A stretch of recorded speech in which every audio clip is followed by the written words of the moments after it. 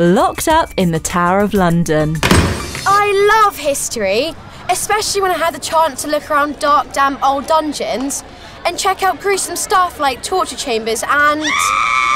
Well, you get the idea. So here I am at the Tower of London. My uncle's a beefeater, one of the special yeoman warders.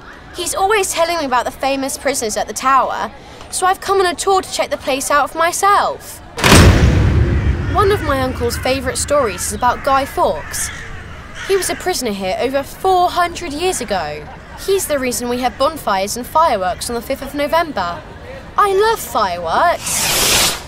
His plan was to blow up the House of Lords during the state opening of Parliament on the 5th of November 1605 and kill the King, James I.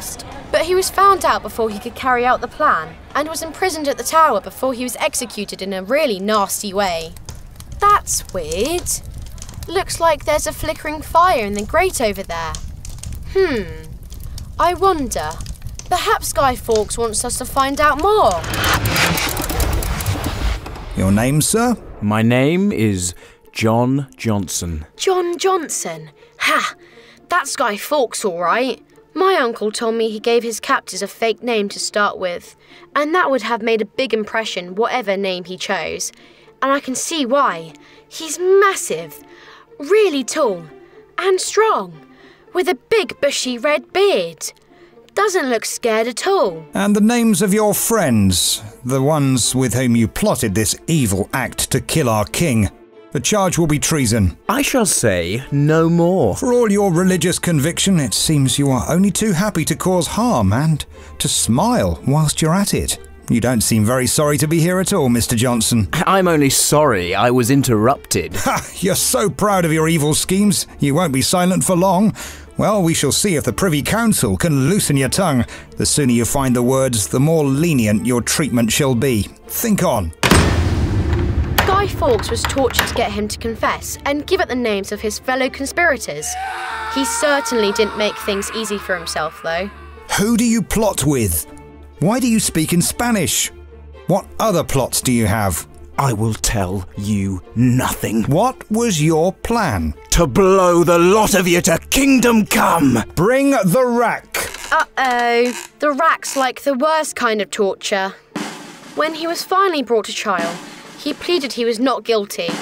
But all the records show that he was pretty proud of what he'd done. You have been found guilty of high treason. At the King's order, you are to be executed on Tower Hill, and your remains sent to all four quarters of the kingdom. Ew! I don't think I even want to know how they're going to do that. From that day, the king ordered that there should be celebrations every 5th of November to remember how close he had come to calamity and to celebrate peace. It started the tradition of having bonfires and fireworks, just like we do today. Sometimes we think of Guy Fawkes as a bit of a hero. It's easy to forget that what he did would be called terrorism today, trying to blow up a building and hoping that people were killed. But no one should be tortured like that. Otherwise, maybe we're just as horrible as the criminal. What do you think? I better catch up with the tour. Catch you later. Locked up in the Tower of London with support from historic royal palaces. Find out more at funkidslive.com slash tower.